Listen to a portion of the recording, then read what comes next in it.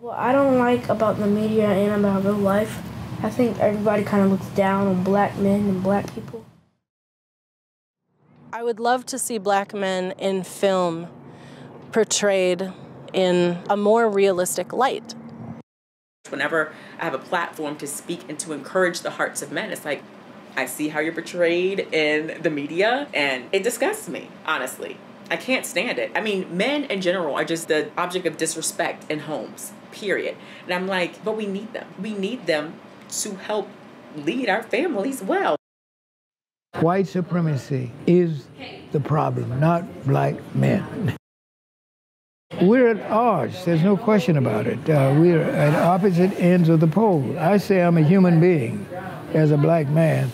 America says, no, you're not. And I'm going to try my best to prove that you're not by everything that I can imagine, which I will impose upon you. That's negative. You're a negative agent in America. You're not a good being in America. And I will do my best to uh, use my media and uh, propaganda devices to make images and messages and symbols of you as a bad person, bad human beings. I don't want to see you as decent and respectable and, and that sort of thing. I think that was something I knew hypothetically going in that I would be raising brown children in a racist world.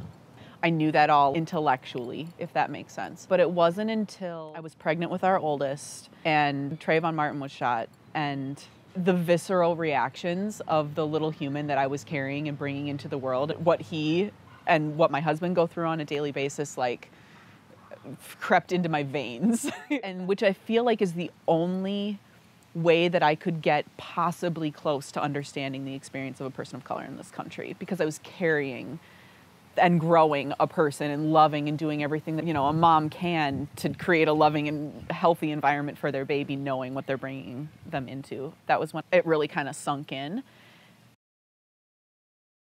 Having a bunch of black brothers and just seeing the way the media like portrays them and just seeing how they're being treated nowadays it definitely made me very scared at first but it also made me want to stand stand up and say you know don't ever judge somebody by their appearance I want the media to just look, look at them and say, wow, this is what they've done for the world. This is like the impact, the a positive impact that they've had on this world. Justin, he just embraces his community. He's such a warrior for black people, for people of color, for LGBTQ rights. He's just a champion for social justice, and that's more than what he does, it's absolutely who he is. Yeah, he's pretty remarkable. It's also pretty cool that he played football for the Minnesota Vikings. This one kid said, if you play football, you're most likely not a Christian. And that's why I look at my dad and I said, not only did he play football, but he's also a Christian going around the world spreading the word of God. And that makes me proud of him.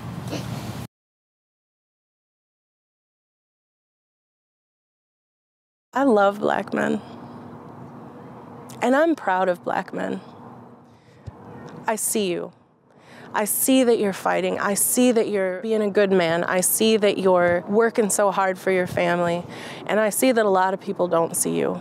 But for every one person that doesn't see you, there are so many people who are loving you, absolutely adoring you, and deeply revering you. You got this.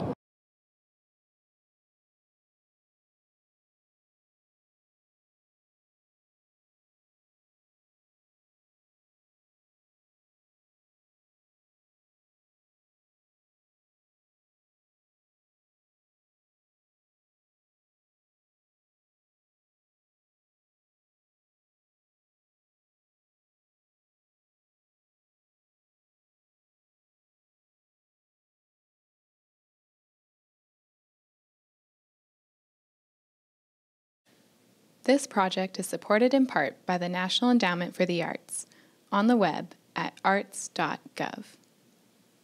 You know, one thing that I've learned from this process is uh, I've got more courage. I've become more courageous as a result of doing this.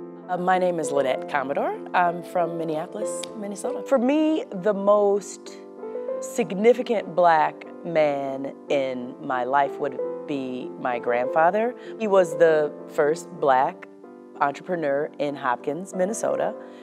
People would come up to me on the street and say, you know, I know your people, and this is what he did for me. They fed their families from that business, you know? The ripple effect of the work that he's doing goes beyond our family, goes beyond his neighborhood. Where are the guys like him on TV? People have caricaturized black men as this very slim version of them that we see in the media.